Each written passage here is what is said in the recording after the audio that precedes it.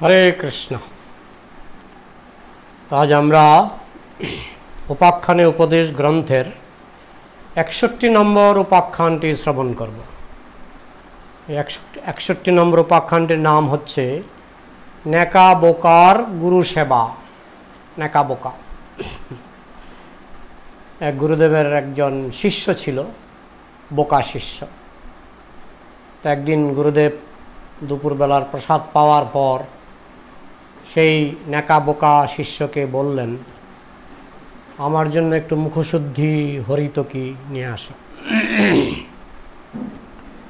তো সেই বোকা শিষ্য একটা হরিতকি হাতে নিয়ে ভাবতে লাগল যে আমরা যখন কলা খাই, তখন কলার খোসাটা ফেলে দিই। আমরা যখন আম খাই, আমরা আমের খোসাটা ফেলে দিই। ভেতরের অংশটা খাই। তো উনি কি করলেন? হরিতকির খোসাটা ছাড়িয়ে খোসাটা ফেলে দিলেন। ফেলে দিয়ে গুরুদেবকে ওই ভিতরের বিচিটা দিতে গেলেন। তো গুরুদেব বললেন, হরিতকি কোথায়? গুরুদেব, আমি খোসা ছাড়িয়ে নিয়ে এসছি। খোসাটা ফেলে দিয়েছি আর এই যে সার অংশটা আপনাকে দিচ্ছি। গুরুদেব বললেন, না না না, তুমি জানো না, হরিতকির খোসাটাই হচ্ছে সার বস্তু। সেদিন গুরুদেবের আর হরিতকি খাওয়া হলো না। তো পরের দিন গুরুদেব তাকে বললেন, দুপুরের প্রসাদ পাওয়ার পর, যে আমার জন্য একটু এলাচ নিয়ে আসো। বড় এলাচ। তো শিষ্য ভাবলেন, গতকাল গুরুদেবের কাছে একটু লজ্জিত হয়েছিলাম লজ্জা পেয়েছিলাম।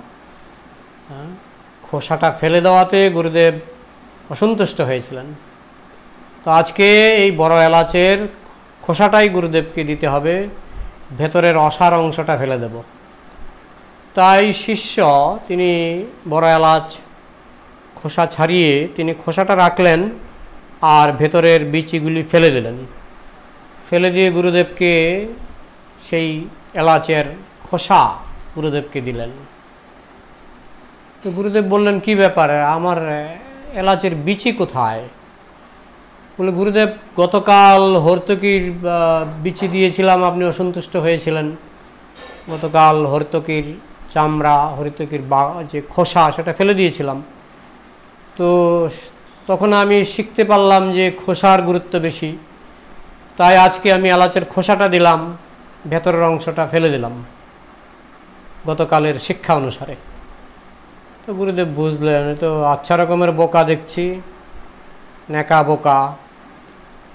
তো আসলে, যাদের, সেবা ভাব নেই সেবাবৃত্তি সার্ভিস অ্যাটিটিউড যাদের নেই, তাদের অন্তরে সত্যিকারের দিব্যজ্ঞান কখনো প্রকাশিত হয় না। এই উপাখ্যানের মাধ্যমে শ্রীমদ্ ভক্তি সিদ্ধান্ত সরস্বতী গোস্বামী মহারাজ শিল প্রভুপাদ তিনি আমাদেরকে শিক্ষা দিয়েছেন যে যারা অযোগ্য শিষ্য, তারা গুরুদেবের উপদেশের তাৎপর্য বুঝতে পারে না। তারা মনে করে গুরুদেব গতকাল এরকম বলেছিলেন, গত মাসে এরকম বলেছিলেন, এখন আবার কেন এরকম বলছেন? একবার বলেন খোসা শ্রেষ্ঠ খোসাকে গ্রহণ করতে হবে। আরেকবার বলেন খোসাকে পরিত্যাগ করতে হবে। হ্যাঁ তো গুরুদেব এরকম পরস্পর বিরোধী কথা কেন বলেন? আসলে গুরুদেব পরস্পর বিরোধী কথা বলেন না। স্থান কাল পাত্র অনুসারে হ্যাঁ, কোনো কোনো জায়গা আছে যেখানে খোসাই গ্রহণ গ্রহণীয় গ্রহণ করতে হবে। আবার কোনো কোনো ক্ষেত্রে খোসাকে পরিত্যাগ করে হ্যাঁ, সার বীজ বীজটাকে গ্রহণ করতে হবে। তো গুরুদেব বিভিন্ন জায়গায় বিভিন্ন উপদেশ দিতে পারেন। আপাত দৃষ্টিতে মনে হতে পারে যে এরা পরস্পর বিরোধী কিন্তু এরা পরস্পর বিরোধী নয়। একমাত্র যে শিষ্যের গুরুদেবের প্রতি সেবাবৃত্তি আছে হ্যাঁ, সার- সার্ভিস অ্যাটিটিউড আছে সে বুঝতে পারবে গুরুদেব স্থান কাল পাত্র অনুসারে কখন কি বোঝাতে চেয়েছেন। সেবাবৃত্তি না থাকলে হ্যাঁ, সে গুরুদেবকে ভুল বুঝবে। যেমন আচার্য শ্রীনিবাস ঠাকুরের একজন অযোগ্য শিষ্য রূপ কবিরাজ। হ্যাঁ, রূপ কবিরাজের অপসম্প্রদায় এখনও আছে। তো সেই রূপ কবিরাজ তিনি তার গুরুদেবকে পরিত্যাগ করেছিলেন। শ্রীনিবাস আচার্য যিনি এক মহান মহান বৈষ্ণব যার সঙ্গে শ্রীমতী রাধারানীর সরাসরি সম্পর্ক ছিল যিনি একবার এক চিন্ময় লীলায় তিনি এই পৃথিবীতে থেকেই হারিয়ে যাওয়া আংটি শ্রীমতীর আংটি হারিয়ে গেছিল, রাধারানীর আংটি হারিয়ে গেছিল। সেই আংটি এই জীবদ্দশাতেই, এই প্রকট লীলাতেই তিনি তিনি ধ্যানস্থ হয়ে সেই আংটি খুঁজে বের করেছিলেন। তো সেই শ্রীনিবাস আচার্য, যিনি চিৎজগতের সঙ্গে যার সরাসরি সম্পর্ক ছিল, তিনি দুবার বিবাহ করেছিলেন। দুজন পরম বৈষ্ণবী ভক্তকে তিনি কৃপা করেছিলেন দুবার। দুবার বিবাহ করেছিলেন। তো দুবার বিবাহ করার পর অন্যান্য শিষ্যরা জানতেন গুরুদেবের মহিমা, যে তিনি কত বড় মহান বৈষ্ণব। তারা সেটা আনন্দ চিত্তে মেনে নিয়েছিলেন। কিন্তু ওই রূপ কবিরাজ বলছে, মহাপ্রভু বলেছেন, অসৎসঙ্গ ত্যাগ এই বৈষ্ণব আচার স্ত্রী সঙ্গী এক অসাধু কৃষ্ণ ভক্ত আর।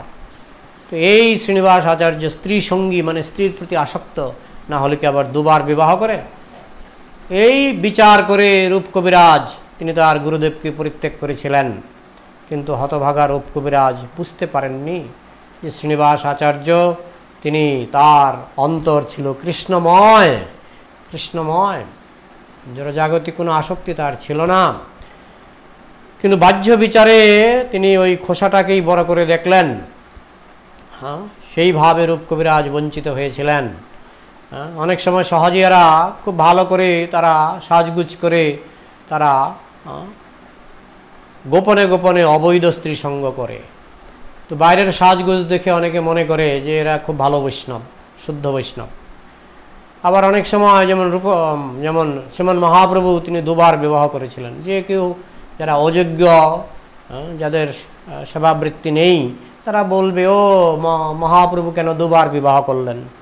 হ্যাঁ তো এইভাবে যারা ভগবানের বিচার করতে যান, বৈষ্ণবের বিচার করতে যান, তারা কখনো খোসাকে গুরুত্ব দিয়ে অন্তরকে বুঝতে পারেন না, আবার কখনো এই অন্তরকে, অসার অন্তরকে তারা সার বলে মনে করেন হরিতকীর যেমন খোসা বাদ দিয়ে বিচিকে সার বলে মনে করেছিলেন ওই বোকা শিষ্যটি। আবার এলাচের খোসাকে সার মনে করেছিলেন কিন্তু ভিতরের অংশটাকে অসার মনে করেছিলেন। অনেক সময় অযোগ্য শিষ্যরা সারকে অসার মনে করে, অসারকে সার মনে করে। বাহ্য বেশকে গুরুত্ব দেয়, অন্তরকে গুরুত্ব দেয় না। আবার অনেক সময় অন্তরকে হ্যাঁ অন্তরকে ফেলে দিয়ে ফেলে দিয়ে বাহ্য ব্যাসটাকে গুরুত্ব দেয়। আবার অনেক সময় বাহ্য ব্যাসটাকে গুরুত্ব দিয়ে অন্তরকে গুরুত্ব দেয় না। তো এইভাবে কৃষ্ণ ভক্তির পক্ষে যাকে তাকে স্ত্রী সঙ্গী বলে ফেলা, ওই গৃহস্থ যেমন ছিল প্রভুপাতকে অনেকে বলতেন যে তিনি পচা গৃহস্থ, তার অনেক গুরু ভাইরা তাকে বলতেন যে ওই অভয়চরণ হচ্ছে পচা গৃহস্থ। কিন্তু ভগবান দেখিয়ে দিলেন, তার অন্তরে কৃষ্ণ ভক্তির যে কি কি স্পর্শমণি লুকিয়ে ছিল যে তিনি সমস্ত বিশ্বে ইস্কন আন্তর্জাতিক কৃষ্ণ ভাবনামৃত প্রতিষ্ঠা করে তিনি তার স্পর্শমণির স্পর্শে পৃথিবীর সমস্ত দেশে তিনি বৈষ্ণব বানিয়ে দিলেন, মাত্র আট নয় বছরের মধ্যে।